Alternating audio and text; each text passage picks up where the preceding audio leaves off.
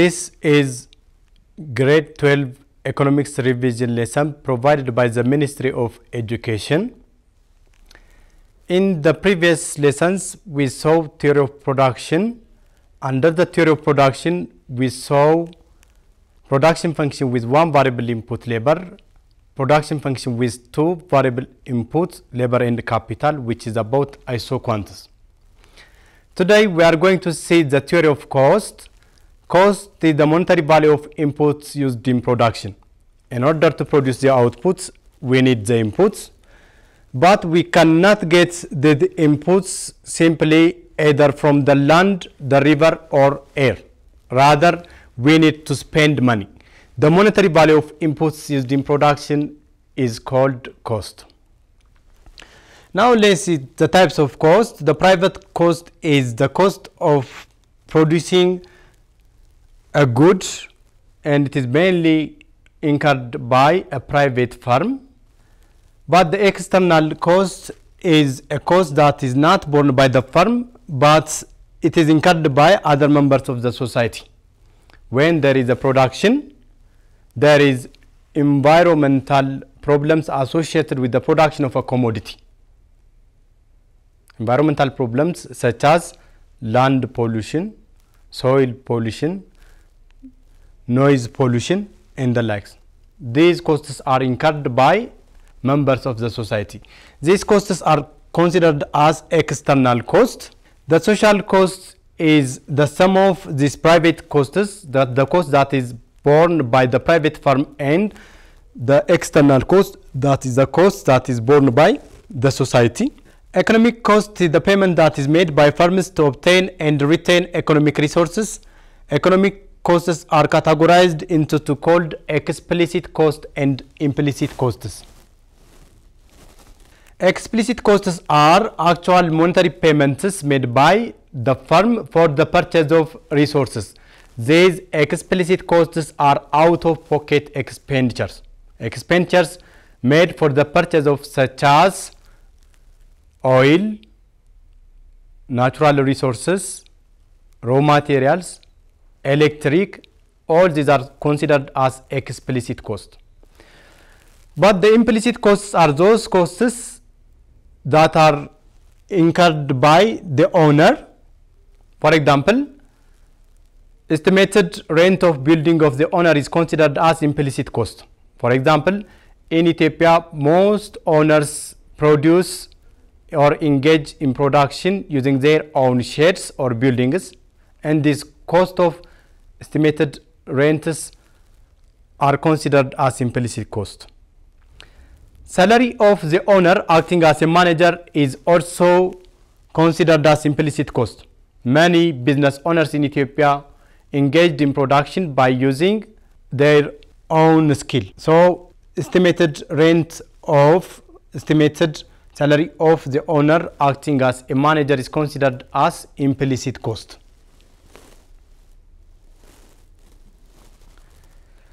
Now let's see the short run total costs called total fixed cost and total variable cost. The total fixed cost is costs that do not vary at the level of output vary. That means even though there is an increase or decrease in the outputs produced, if there is no change in the cost of production, that cost is considered as fixed cost. And these fixed costs are the costs of fixed inputs, such as rent and land. The total variable cost is a cost that directly varies at the level of output varies. Cost that increases as output increases and a cost that decreases as the output decreases is called variable cost and these variable costs are the costs of fixed the costs of variable inputs. Finally, the total cost of production is the sum of the total fixed costs and the total variable costs of production.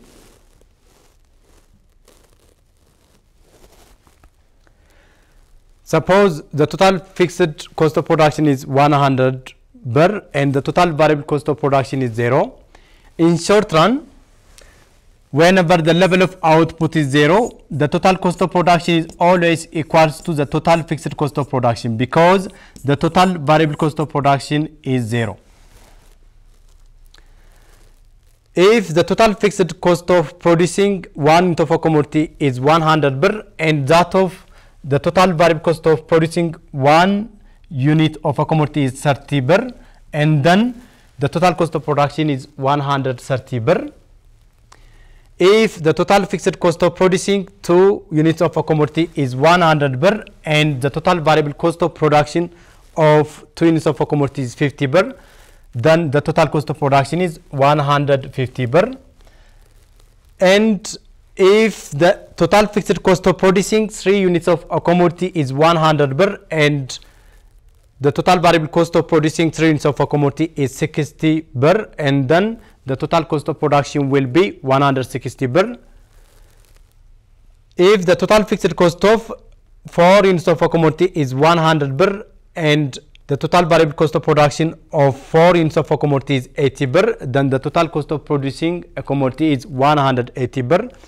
Finally, if the total fixed cost of producing 5 units of a commodity is 100 birr and the total variable cost of producing 5 units of a commodity is 100 timber, then the total cost of production is 200 timber. Graphically, this is the total cost of production curve and this is the total variable cost of production curve. This is the total fixed cost curve. The total fixed cost curve is a horizontal straight line cost curve the gap between the total cost and the total variable cost of production is the total fixed cost of production because the total cost of production is the sum of the total variable cost and total fixed cost. Now, let's see the average costs and marginal costs in the short run. The average fixed cost of production is the total fixed cost per unit of output. It tells us the money that we spend for the fixed inputs on average. Mathematically, the average fixed cost of production is calculated by dividing the total fixed cost of production for the output produced and sold. Similarly, the average variable cost of production is the total variable cost per unit of the output produced and sold. Mathematically, the average variable cost of production is calculated by dividing the total variable cost of production for the output produced.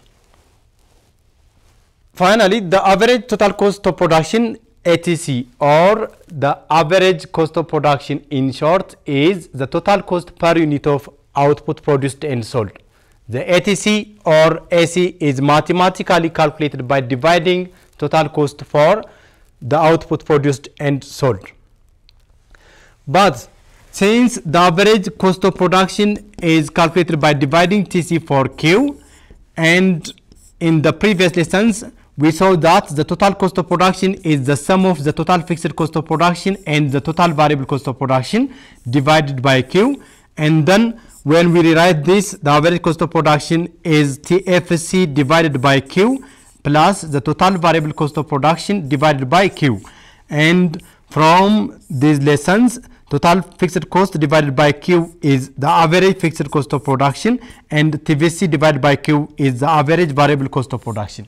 That means the average cost of production is the sum of AFC and AVC.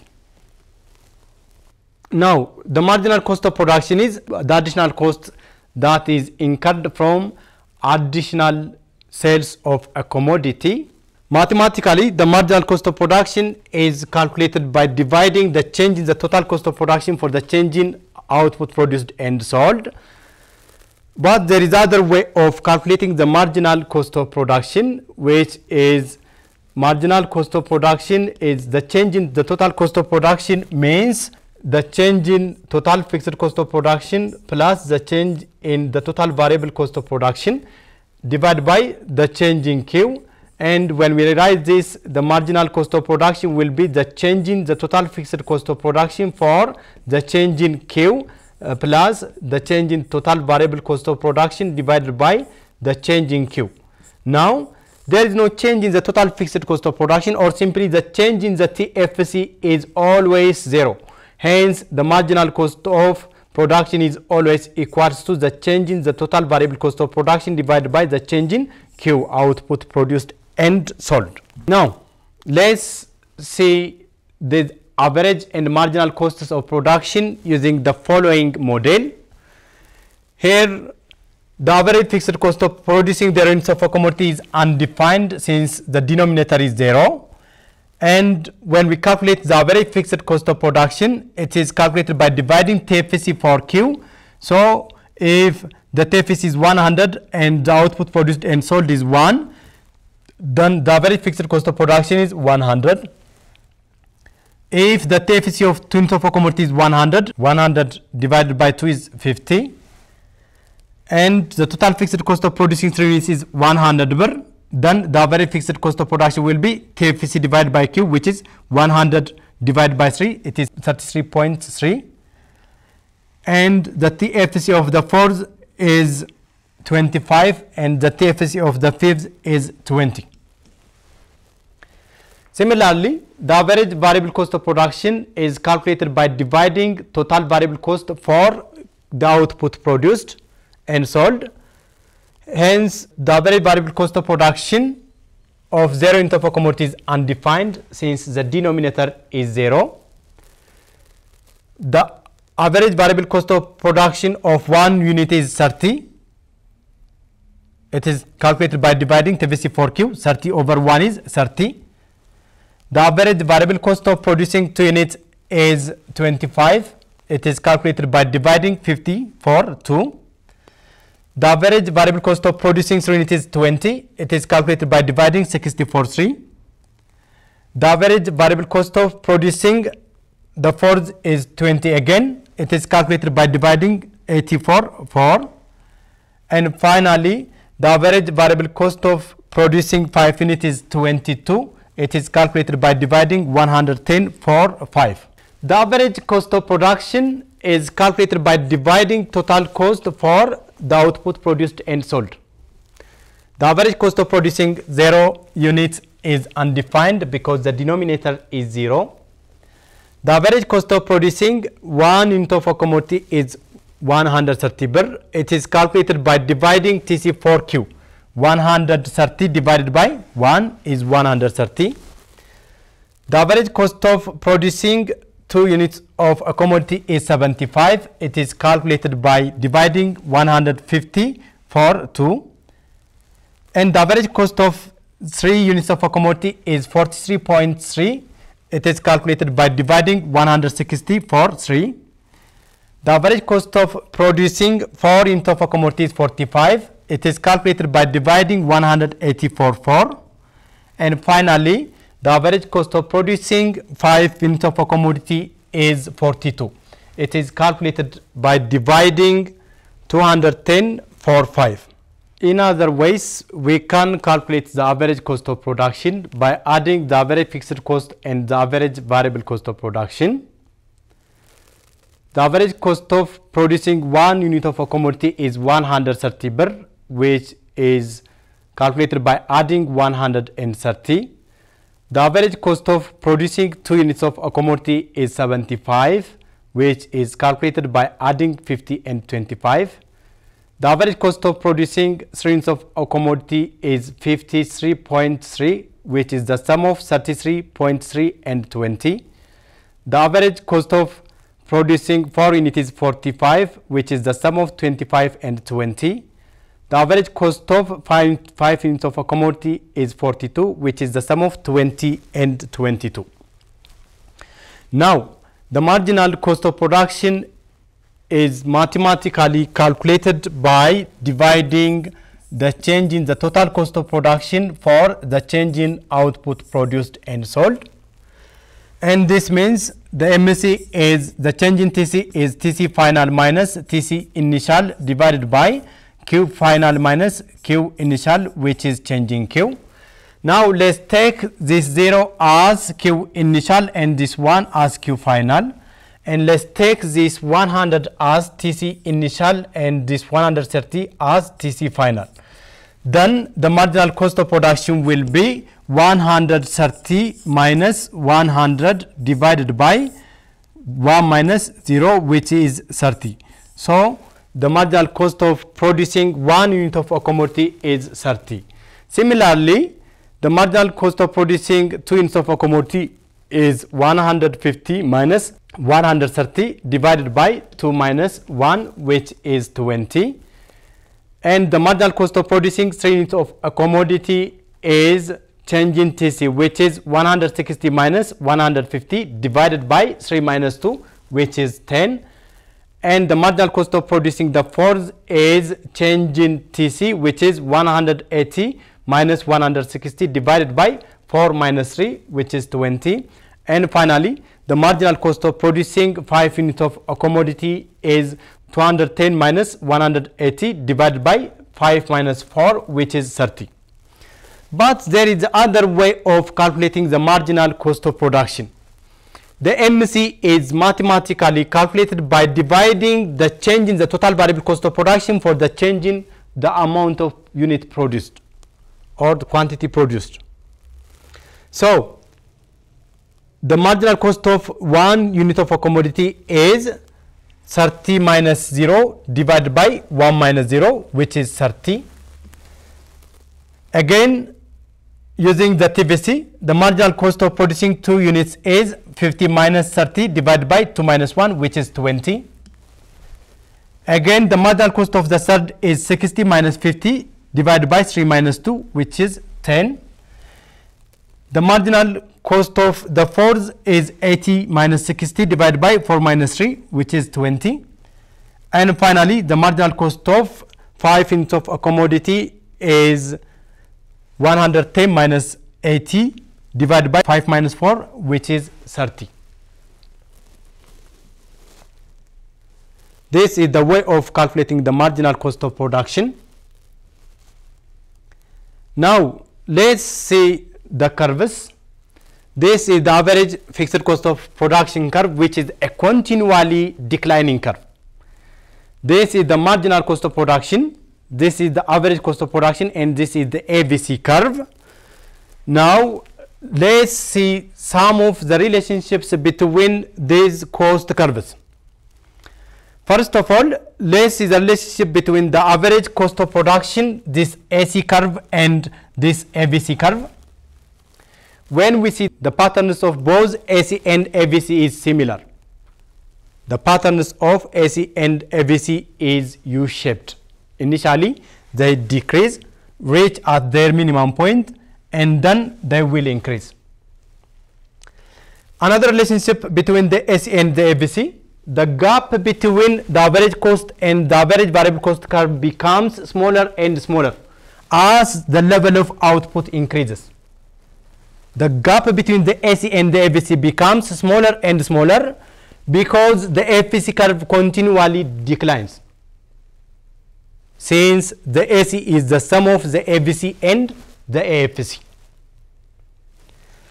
Another relationship between the AC and the AVC curve, the AVC curve reaches at its minimum point before the AC curve reaches at its minimum or AC series at its minimum after the AB series at its minimum. So we can point out these relationships between the AC and the AVC curve. First, the patterns of the AC and AVC is similar. Both are U-shaped curves. Second, the gap between the AC and the AVC becomes smaller and smaller as the level of output increases. This is because the AFC curve continually declines. Third, AB series at its minimum before A series at its minimum or A series at its minimum after the AVC curve is at its minimum.